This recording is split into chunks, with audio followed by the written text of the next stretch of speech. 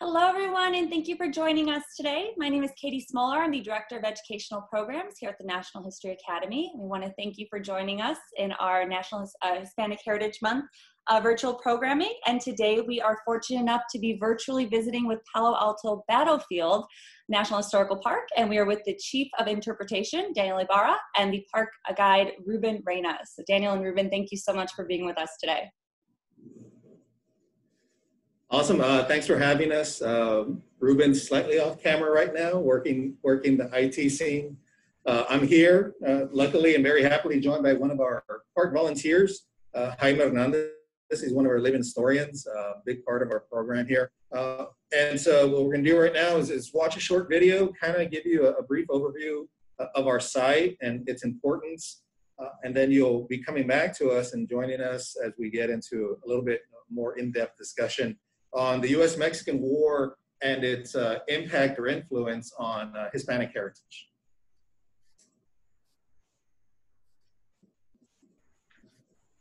Hello, and welcome to Palo Alto Battlefield National Historical Park. You are at the site of the first battle of the US Mexican War, the Battle of Palo Alto. You're also at the only NPS site that interprets the US Mexican War. Now, inside our visitor center over here, we have plenty of interactive exhibits and a 15 minute video that talks all about the battle and a little bit of the war. You excited to come on in? No, I'm excited. Let's get to it. Hello, my name is Ruben. Thank you for joining us today. In the spring of 1846, all eyes turned towards events on the Rio Grande. When President James K. Polk addressed Congress in December of 1845, he stated, the jurisdiction of the United States has passed the Capes of Florida and peacefully extended to Del Norte. With that statement, President Polk declared the boundary between Texas and Mexico was the Rio Bravo del Norte, also known as the Rio Grande. On December 29, 1845, Polk welcomed the former Republic of Texas into the Union, but the Mexican government asserted Texas was rightfully still a part of their country Although Texas claimed independence from Mexico in 1836, Mexican leaders never recognized Texas' independence. Questions about the boundary of Texas further complicated matters. When Texas claimed independence from Mexico in 1836, it declared the Rio Grande as their boundary. Mexico viewed Texas as a much smaller region, bordered in part by the Nueces River. The different views on the boundary left in dispute a huge stretch of land between the two rivers. To make his position clear, President Polk sent an army led by Zachary Taylor to Texas in July 1845. The seasoned general later advanced to the Rio Grande in March 1846. Taylor led his troops to the river's edge, setting up camp across from the city of Matamoros. His Mexican counterpart, General Mariano Arista, commander of the Army of the North, arrived in Matamoros at the end of April 1846. Arista was determined to drive out the U.S. Army as soon as possible. On May 8, 1846, General Taylor and roughly 2,300 U.S. troops faced off against General Arista and approximately 3,500 Mexican soldados. Let's head out and take a look at the battlefield. You were standing on the western edge of Palo Alto battlefield. At this point, you would have had to duck for cover as the cannonballs were whizzing by overhead.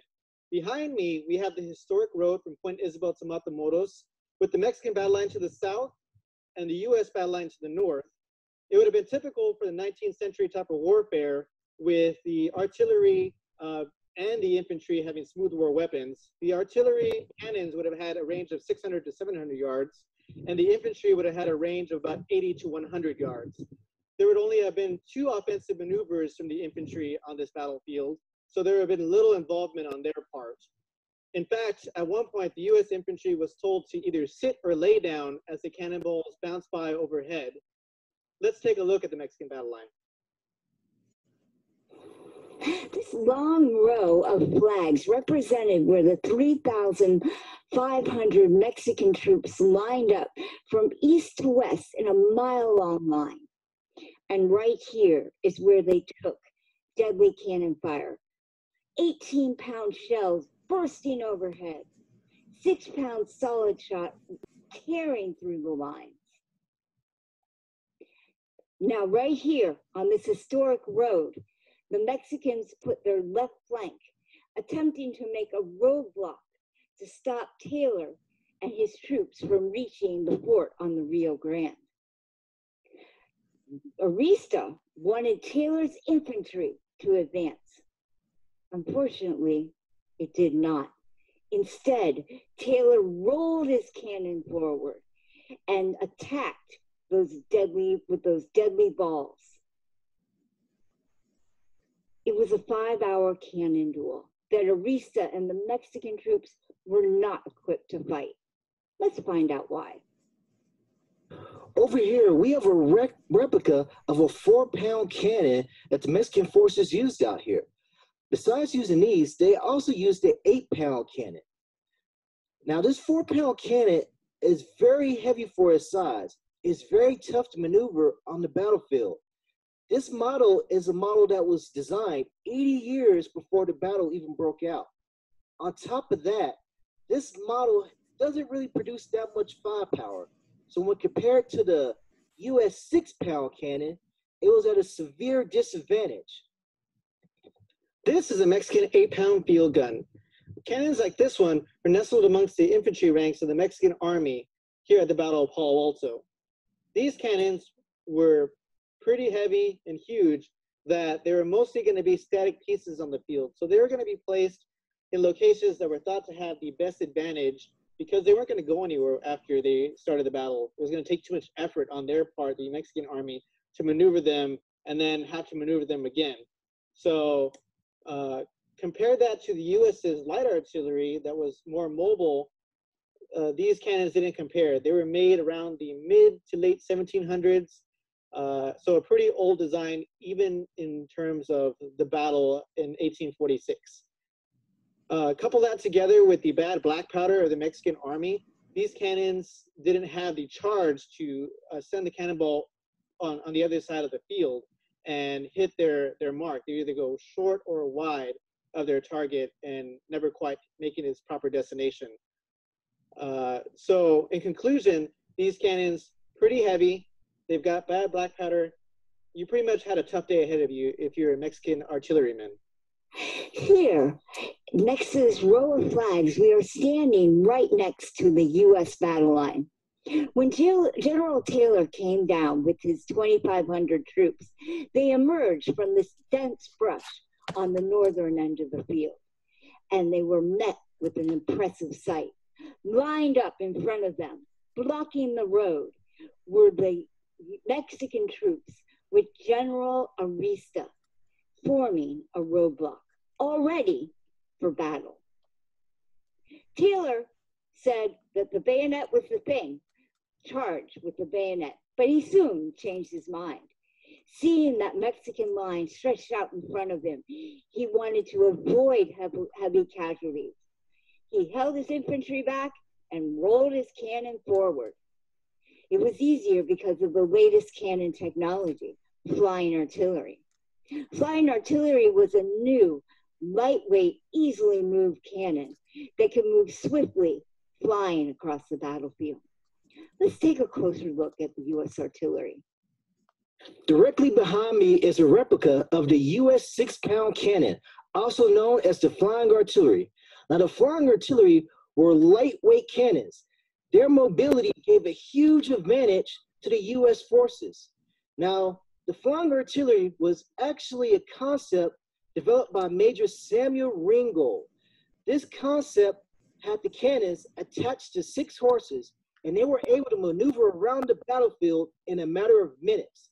Now, compared to the larger, heavier Mexican cannons that couldn't be pulled by horses, and the Mexican army was at a huge disadvantage. Now, Major Samuel Ringgold, he actually came up with the idea after going across seas over to Europe and seeing how they developed their artillery tactics.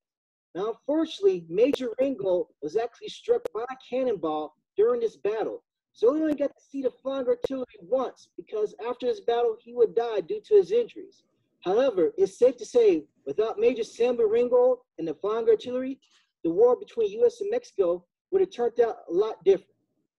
In addition to the U.S. six-pounder light artillery, Zachary Taylor used larger cannons like the one behind me, the U.S. 18-pounder, to strengthen his defenses.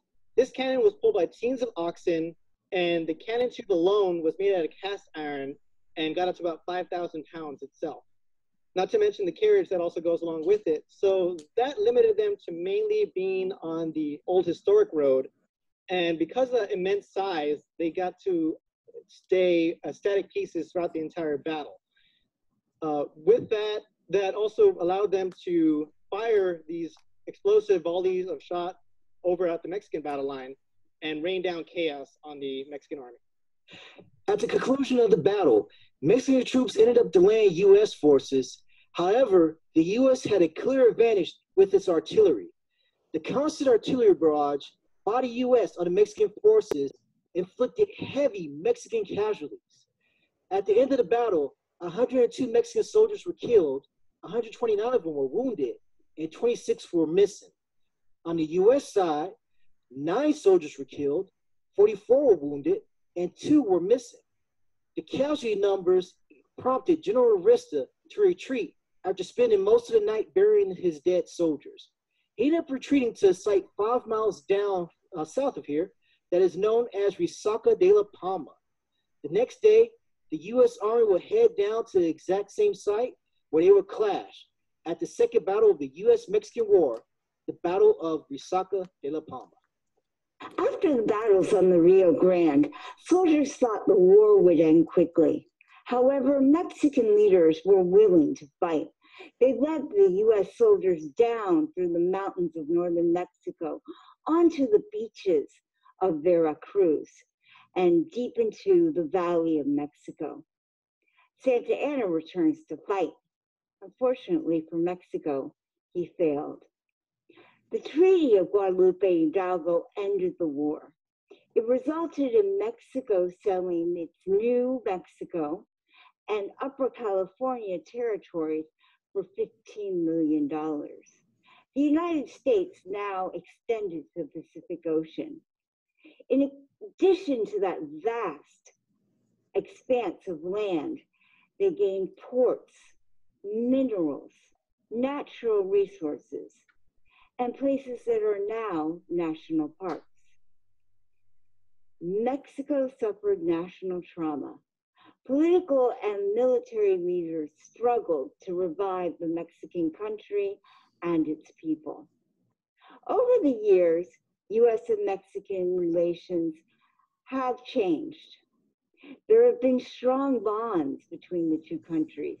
However, there's still a struggle with distrust and misunderstandings from the war, its effects, and ongoing legacy.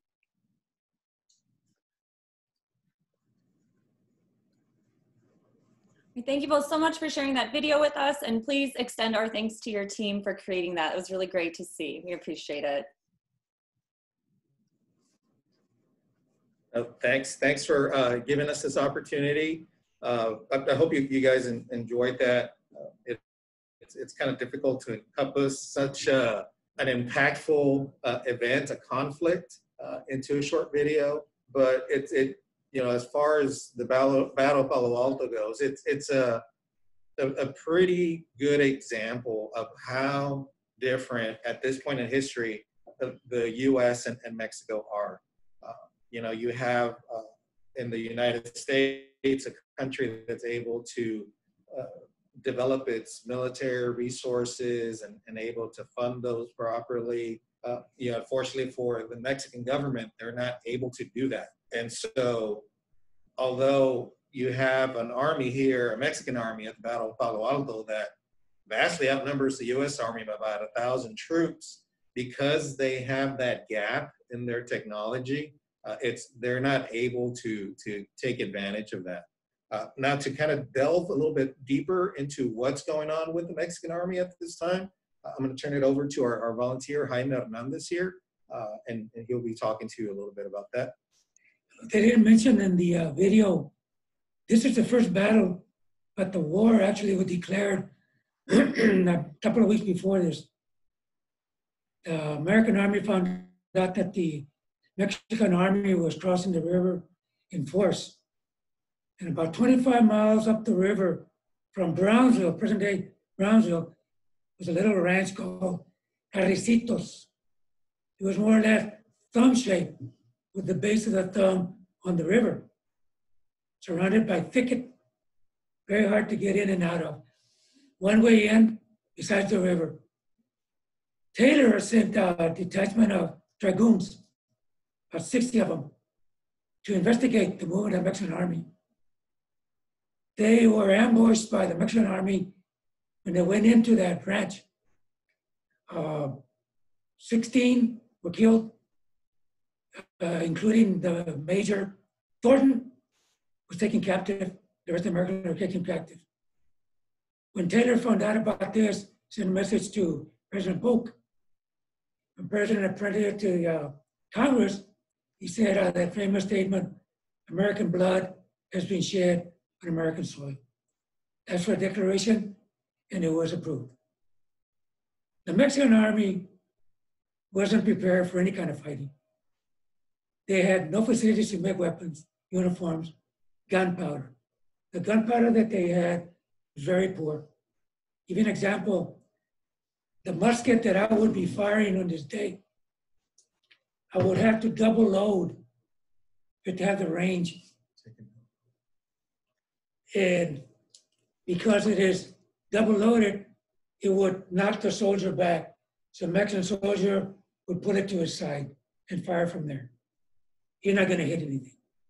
The cannons, powder being so poor, it wouldn't reach the target.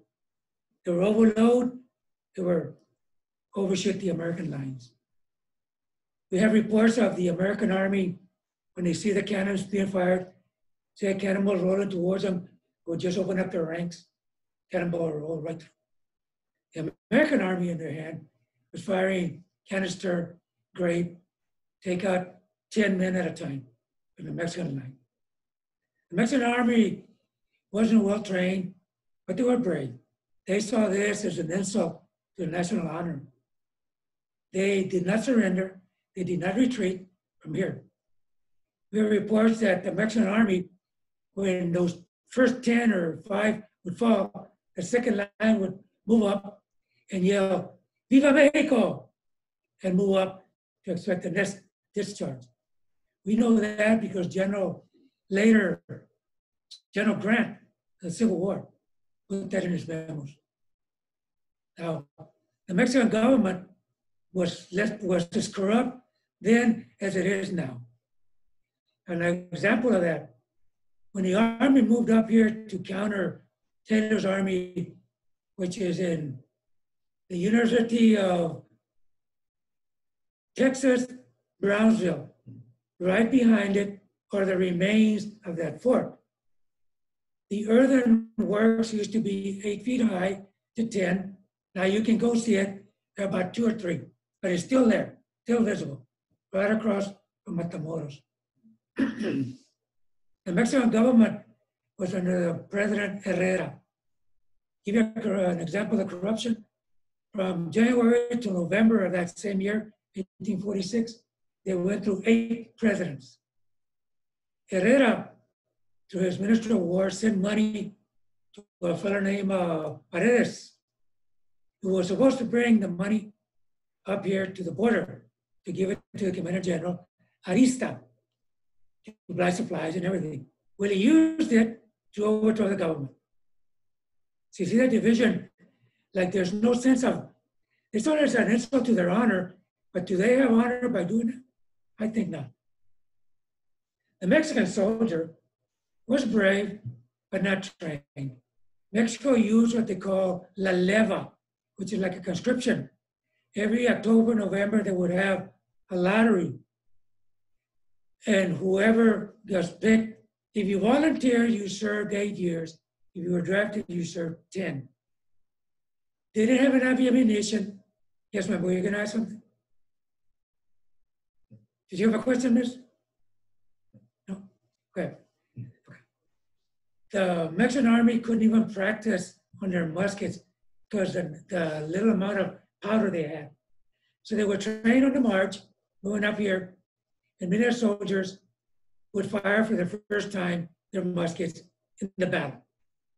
A lot of the Mexican soldiers were the lowest of the lowest, called pelados, which would be like the untouchables in India. No respect, they were field hands. A lot of them were Indians, didn't even speak Spanish. But those are the ones that made up the bulk of the army, the actual fighting men. When they got up here, no training, no use of the bayonet, those are the ones that confronted the American army. Uh, there's been, uh, the Mexican side sees it as an unfair war. Yeah, young Abraham Lincoln said it was one of the most unjust since of American aggression ever, because Mexico was not prepared. On paper, their number was huge, but in actuality, no. They had no training, no weapons, uniforms, they wore one, and that was it. Okay, Uh, so you do have this this stark contrast going on here, where you know it, it's hard to to motivate a, a fighting force, you know, to have them defend the, the country, defend the country's honor, uh, when basic things like getting paid uh, or getting fed are, are an issue. And so it's you can imagine these soldados are coming up uh, here to engage the U.S. Army going up against what at that point in time was some of the most advanced weapons technology in the world, really, uh, in the U.S. flying artillery. It's you know, so they're outmanned. They're they're as far as as far as technology goes, weapons technology. Uh, they're under resourced, uh, and so it's it's very difficult, as you know was alluded to in, in the video, to you know you're you're on the field, you're in danger, uh, you're putting yourself in danger. You're fighting for a cause which which you think is right and just, but you just don't have the tools available. Uh, you know, they're not at your disposal, and so it make th- it makes things very difficult to to be standing on that Mexican battle line. And so you have um, Jaime was alluding to this this kind of this this national tragedy. Uh, you know, I'm thinking, you know, you can even see it just in how the, the war is remembered. It's remembered very differently uh, in the US and, and in Mexico. Uh, I think generally you can say that it's a little bit more well known in Mexico. Uh, it's still kind of one of the lesser known conflicts in, in the US. For, I mean, we, we opened up this visitor center in 2004, and for the first several years, the majority of the people that were coming through the doors here, this was the first time they had ever heard of the U.S.-Mexican War. Uh, luckily, that's that has changed over time, you know, and we like to think that we we played some small part in that, and just you know educating the, the public or cluing them into this part of, of U.S. history that maybe a lot of people didn't know about. But you know, it's just not as well known as it is in Mexico uh, how the, the war is remembered. I mean, in general, in the US, this is either the, the US Mexican War or the Mexican War, even. In Mexico, this is the North American invasion. And so that, that is really how this is seen. Uh, you have boundaries that are definitely changed after this conflict. But what's kind of kicking off this conflict is a question about boundaries. Uh, you have questions over you know, not just ownership of Texas, but also what is Texas? You know, what defines Texas? And so you have different groups of people claiming different boundary lines. And I'm not sure, I can't see anyone who's, who's out there. Uh, if anyone's ever taken art, um, I surprisingly took four years of art in middle school and in high school. And one of the first things that you're, you're taught in art is that the line is artificial. That's that's a man-made thing is to draw a line. And so you know, you can draw a line on a map or on a piece of paper and say, okay, I'm drawing this line here. that's definitely them and this is us. But in reality, it, it doesn't quite work that way. Uh, you know, it, it's just not the way things work. You know, you have, you know, customs and cultures and languages and, and foods or, you know, whatever may be that are present, you know, in a place, in a territory. And then for someone or a government to come along and say, okay, as of today, we're drawing this line and this is now Texas or this is now the United States. Uh, so this this is your your new life.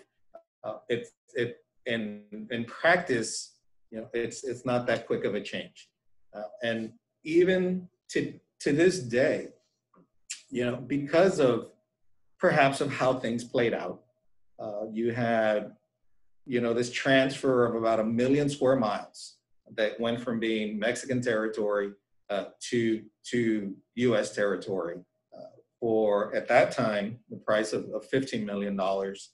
Uh, you know that that's a big chunk to all of a sudden have be part of your country. What happens is Mexico is essentially cut in half, and the U.S. doubles in size. Uh, to have that that dramatic uh, change occur and to expect it to be kind of like flipping a switch that all of a sudden, okay, this is definitely not the United States and this is the way things operate. Uh, you know, it just, it's not, it's not practical uh, in, in that sense. And so that kind of still stirs things, you know, whether it be questions about immigration or even, even boundaries or borders that I mean, th- this conflict broke out 175 years ago, uh, but it, it's pretty easy to turn on, you know, local news or, you know, search Twitter or what have you, and to find something that you can almost directly tie to, if not the conflict, the consequences of the conflict. Uh, and so it's, it's something that's still quite definitely re- resonating uh, today working here, I've, I've kind of heard all kinds of different uh, opinions or feelings about, about this conflict uh, from people in the States, from other countries, uh, from Mexico. A lot of times people will, will ask us, uh, you know, how, you know, do people in Mexico feel? And of course, you don't want to speak for, for everyone. And so, you know, you, pick out, you know, some examples that I've personally uh, been a part of and experienced. And, you know, they, they run the gamut from, you know, very early on from when we opened the visitor center here, I had a gentleman uh, who came in and said that his brother, who still lives in Mexico, will only come as far north as Matamoros, which is the city directly across from, from Brownsville here, here on the border. And he says he only comes up this far because he says that there's where it started. There being Brownsville. Says so I, I will not step foot in Brownsville. So and that that's a very recent uh, opinion, very strongly held by someone. Uh, to ranging all the way to I had uh, some some teachers here uh, some time back from from Saltillo, which is in northern Mexico, and this one gentleman says that you know, the U.S. should have just kept it all. Like, I would have been so much better off, you know, because I would have been living in the U.S. And so it, it's it's kind of strange, you know, living here to, you know, put yourself in, in that headspace that like, wow, you know, that you really can't play, you know, all these what if games. You know, where where would we as as the country be? Uh, where would we be if General Taylor was not successful here at Palo Alto and things played out, you know, differently? Or if you did have the acquisition of all this territory, but it had not come as a result of war and maybe occurred through diplomatic channels, would present day US Mexico relations be different or how they would be different? Um, I mean, you've got four future presidents present on this field about a half mile from me, where me and Jaime are sitting right now. Zachary Taylor becomes president right after this conflict, kind of rides the the wave of the war hero uh, all the way into the White House. Uh, you have a very young second lieutenant, Ulysses S. Grant, who's present here uh, on the Mexican side of the battlefield. Uh, you have General Arista, who goes on to become and, and serve a term as, as president. One of his junior officers, uh, Romulo, uh, Romulo Diaz de la Vega, also serves the term as president. And so, I mean, even bringing it down to to to that is, what if one cannonball decided to go just a different way, and now you you completely altered uh, either U.S. or Mexican history?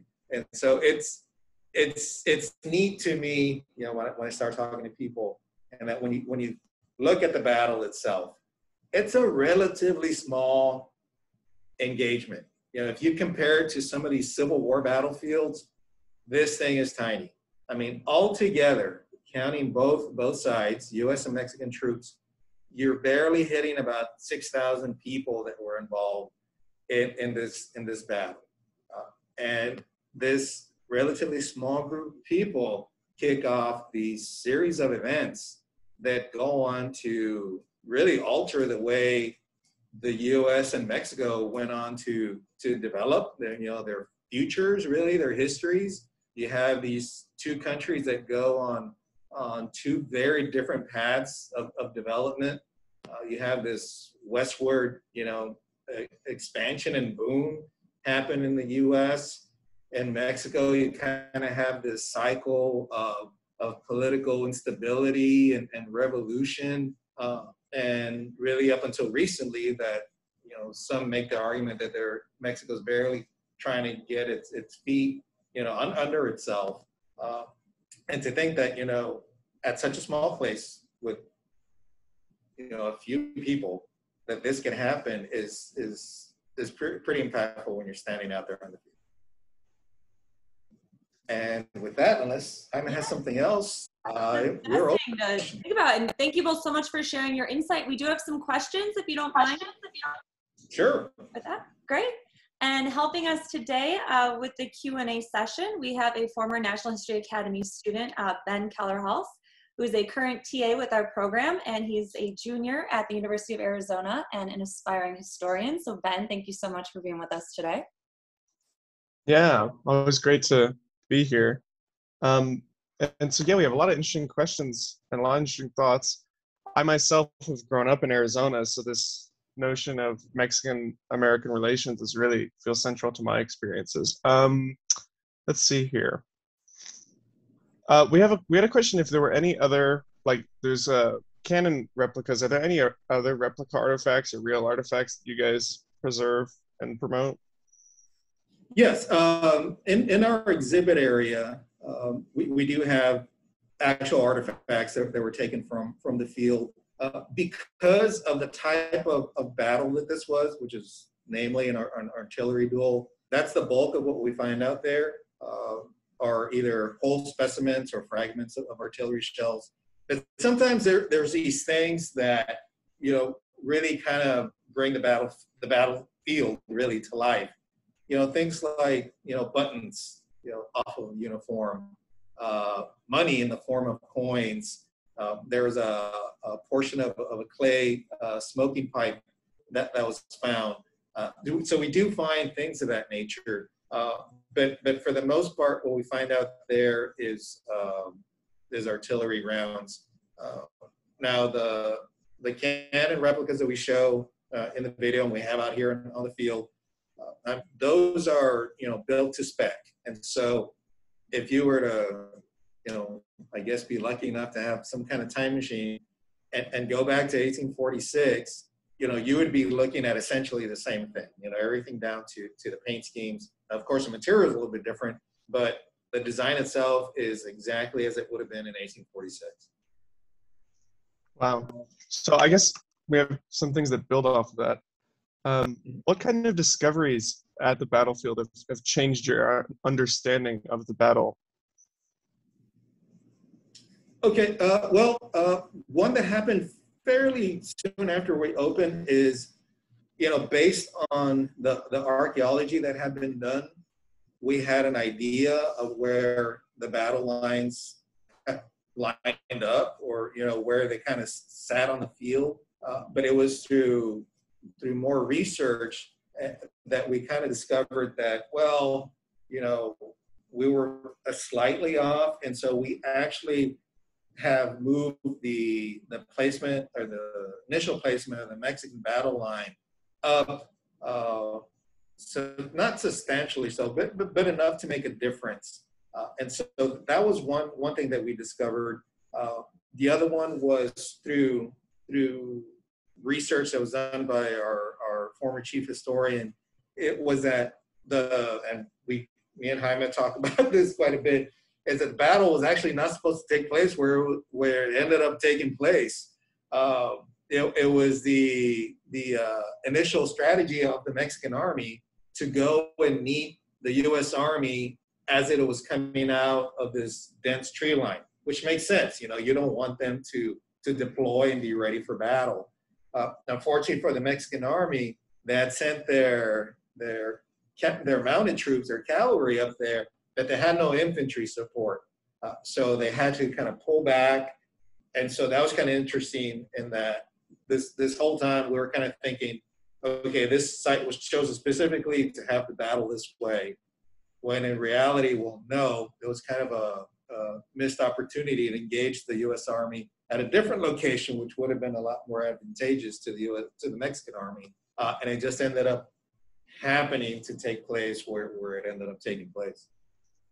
Wow, yeah. It's always more messy than it seems at first. Um, uh, so I guess also in that same vein, someone asked what work goes into preserving the battlefield today?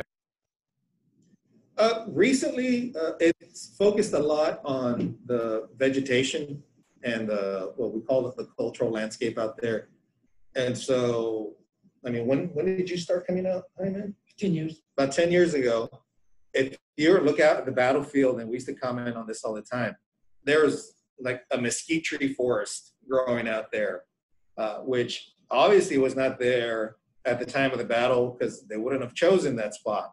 Uh, and so that that type of, I guess, encroachment on the battlefield came about through activities that occurred after uh, the battle took place and after this whole area started getting developed. And that was namely cattle ranching.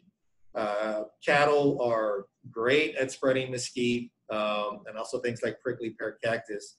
And so it really took several years through different research projects and I'm sorry, resource projects to get the battlefield restored more to what it would have looked like in 1846. Uh, the next big push, and that's what we think will, will really get it back to that state, is to have a, a controlled burn of the field. And that, honestly, that, that's really what it takes um, to to get rid of uh, vegetation that you know doesn't belong there. Is you really do have to burn the field, and then what's coming back is should be what was historically there.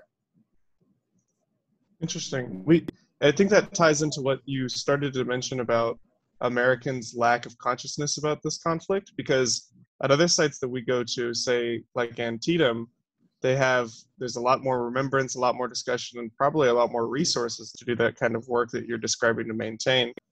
Why we had some questions about why do you think that is? Like why is it that americans don't know more about or think more about this conflict? Um, i mean it's something that that's come up in, in discussion a lot but it, it seems to be almost like usually if you're on the losing end of, of a conflict whatever it be um, whether it be an argument with you have with someone or what have you, it tends to stick with you a little bit more. Uh, I'm sure if Jaime can, can speak to that.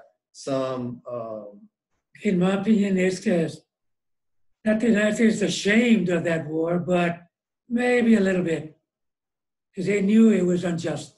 They knew it wasn't a fair fight. They they went through the process of trying to buy Texas, but Mexico knew that it was just a way to grab their land.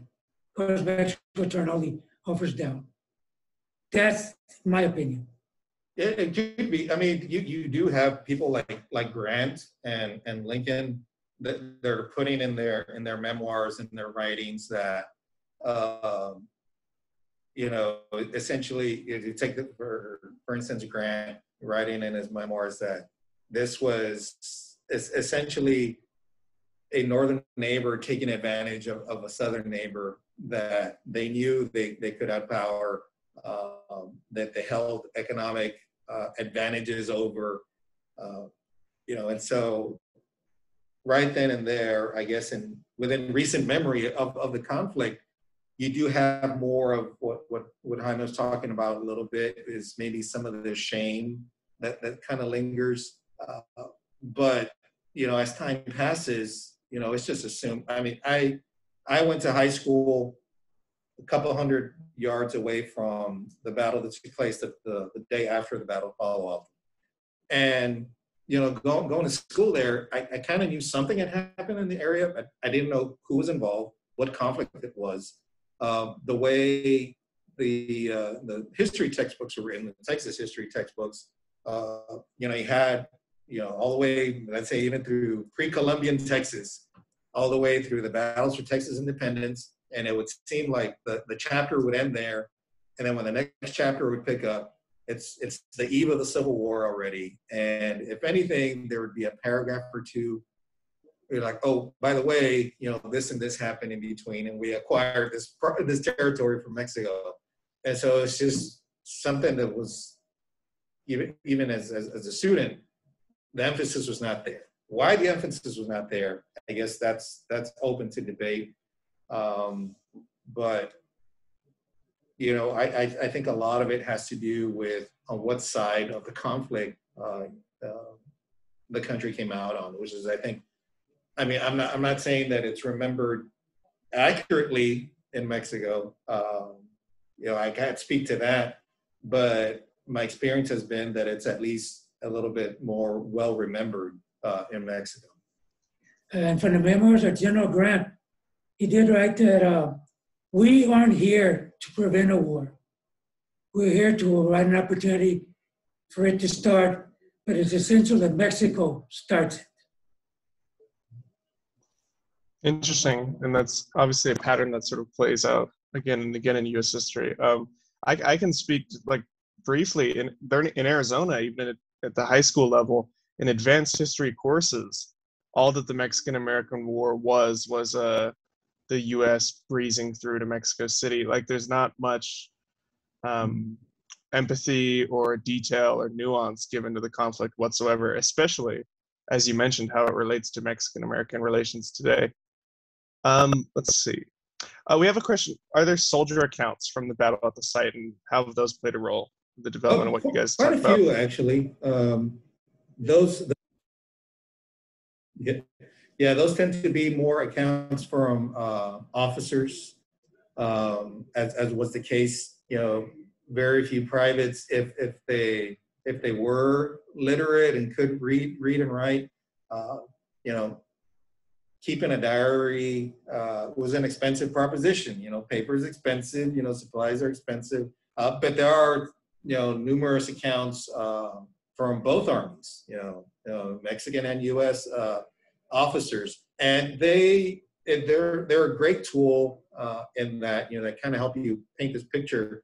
And for the most part, they are in I wouldn't say complete agreement, but they they, they paint kind of a cohesive picture. Uh, where things get a little muddy, or let's say like in casualties, right? Uh, you'll have, you know, and it, it kind of makes sense, you know, if, if you're a Mexican officer, you don't want to outright claim that you know you lost 300 300 soldiers um, you know so some some vagueness exists there. But as far as how things played out uh, and who was involved uh, you know they're, they're pretty pretty spot on.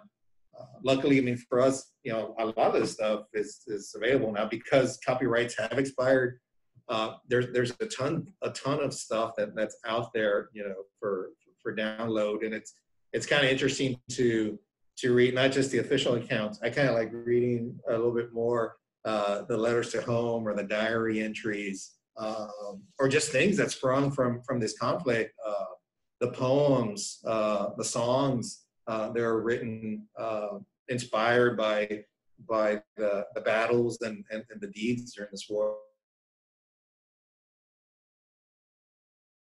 Yeah, that sounds yeah really interesting. Um, let's see, we have sort of going off of the what you were talking about the political relationship between Americans and Mexicans um, having to do with this conflict. What were the views of Mexicans from Americans or vice versa? And how do those impact this conflict? Sure. The Mexicans, again, they saw it as a, an invasion of the land, American aggression. Uh, after the Battle of the Alamo, it's about 10 years before this war began. Alamo was in 1836, it started 1846.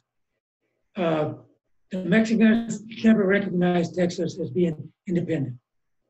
And if they did, it certainly wasn't the border of the Rio Grande.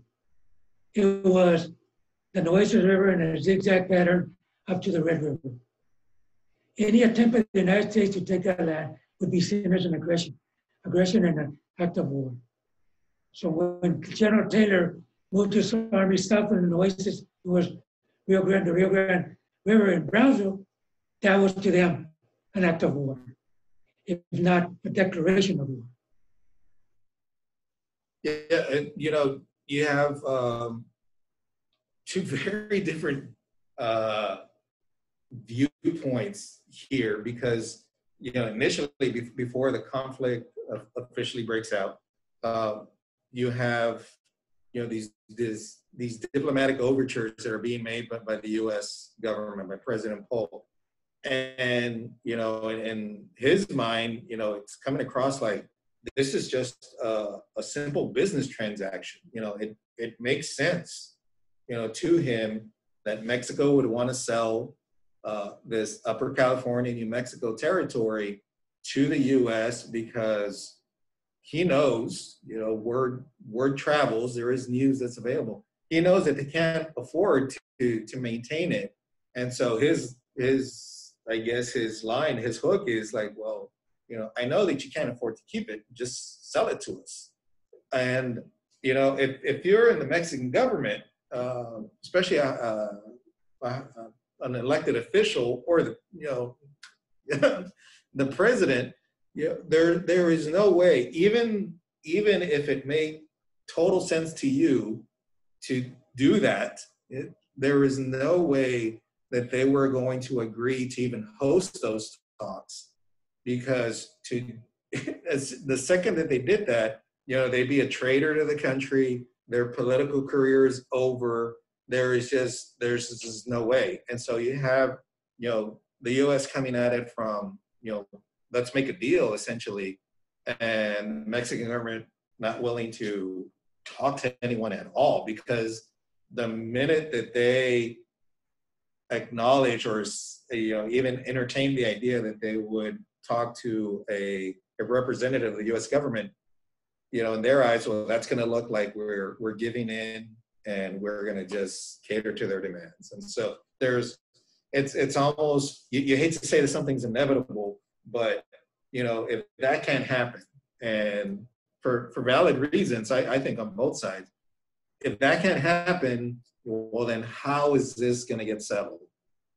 You know, and, and Polk's eyes, the way that it settles is you put a U.S. Army right on the border of what he believes is his newly added state of Texas, looking directly across the river at a Mexican army who is there defending what they believe is a Mexican river to expel a U.S. force that they believe is at least 150 miles into Mexico. You know, something's going to happen. It's just going to it's going to spill over. Yeah. So we have some questions from Facebook. I think that uh, some more questions from Facebook that I think go together. So someone asks if you know of any of the work being done to publish Mexican accounts of this battle or the war in general, but also a question, um, what is a good beginner book for a history of this conflict? I think those sort of go together. Um, we, I mean, we've had not the best of luck trying to find, um, you know, resources, you know, outside of uh, the usual like eight or ten that we come across for for I guess the Mexican viewpoint of this particular conflict, especially one that's written uh, either during the conflict or, or shortly thereafter. Uh, you know, could there be some out there? I'm sure there are. Um, there's just not, and at least in our experience, easy to come by. Uh, you almost have to really be physically in Mexico, down in the archives, either in Mexico City or let's say a city like Monterrey, um, to, to, visit these sites. Uh, and so, you know, unfortunately, that, that's a little bit harder. I'm not saying it's impossible, but they're a little bit harder to come by.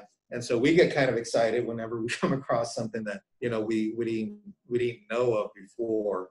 Um, as far as a, a beginner, beginner book for the U.S.-Mexican War, uh, you know, there there's two out there that kind of encompass the, the whole thing uh, quite well. Uh, you, you have a a book, you know, not surprisingly titled "The, the Mexican War."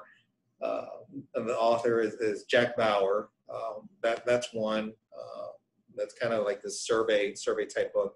You have another one that's similar. Uh, it's called uh, "So Far from God" by John Eisenhower. Uh, which is another another survey book, which is a play off of uh, I think it's Juarez, Benito Juarez, uh, you know, the famous line, and it kind of it fits with this with this with this conflict and and this feeling uh, that many in Mexico had, you know, about about what's going on was, you know, poor Mexico, you know, so far from God and so close to the United States. You know that's that's kind of the feeling there. But those those are the two books that i guess would be service intro books.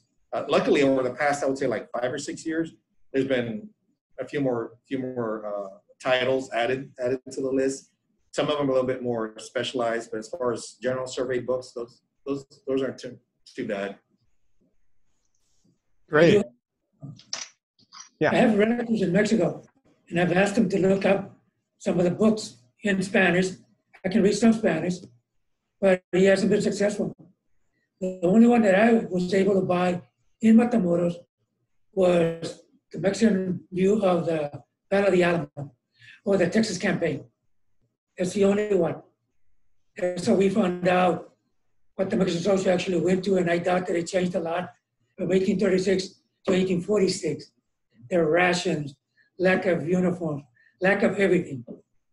That's the only one that I've been able to find. I'm a retired school teacher, history school teacher, and I've tried to prepare myself right to do presentations here. Hmm.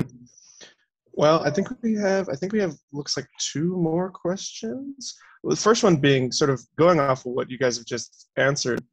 How do you feel that Hispanic Heritage Month, your site, the, the recent maybe trend, so you could call it, in history to tell more stories that have been downplayed. Is that working? Or are more Americans becoming conscious of this conflict, Hispanic heritage in general? Uh, I'm sorry to say, I think most people are apathetic. They don't really want to know it. Uh, I taught for 29 years, high school students. Most of them didn't really care. Their attitude was, what do I have to learn about dead people? Like that. So a lot of people are apathetic. I'm sure there's somebody that does want to know. Uh, unfortunately, I think it creates uh, resentment, anger. They didn't know this happened. But when they do find out, they kind of see it as, hey, maybe the United States was aggressive. Like that. Yeah, I mean, it's, it's, it's tough because um, you know, on, on the one hand, you know, you want you want to kind of stir these conversations up. You know, even if they do lead in, into you know a little bit of you know uh, let's say anger or, or what have you.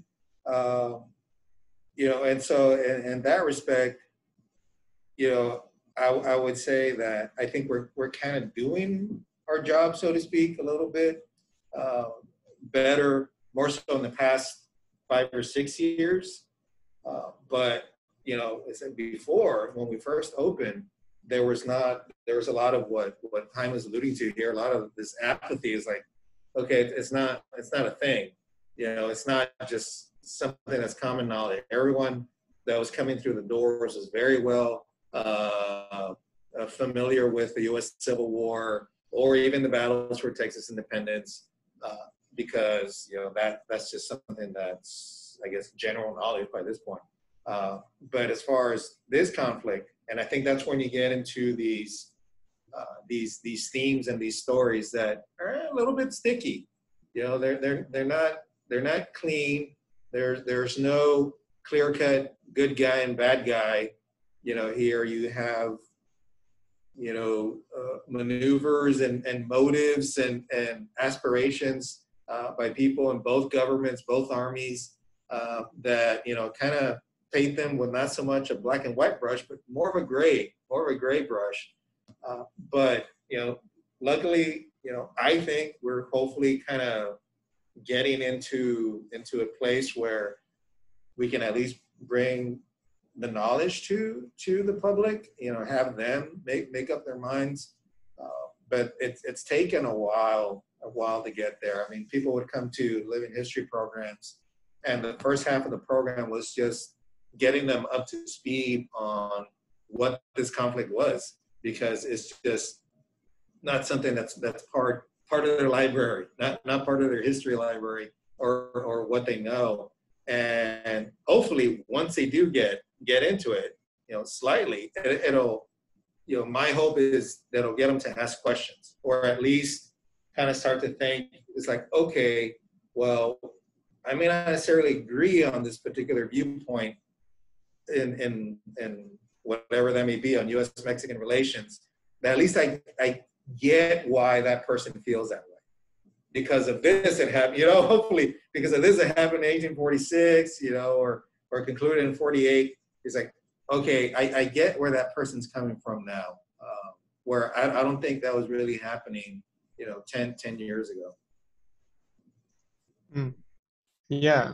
Um, so we always like to ask, or we have always have some students who want to know, how did you two get where you are in your career and maybe what advice would you have for young people that are trying to get into history or that do care about this stuff yeah sure I'm a, uh, when I graduated high school, I always liked history, all kinds of history. Um, when I started teaching, actually, I went into it not so much to teach, but because I wanted to coach. But once I started teaching, and that was something I loved. I really got into it. I actually taught. I wasn't the type of coach that, okay, read the chapter, get a question at the end of the chapter. No, I actually lectured. I actually took field trips. I actually did things that you're supposed to do as a teacher. And um, I just loved it.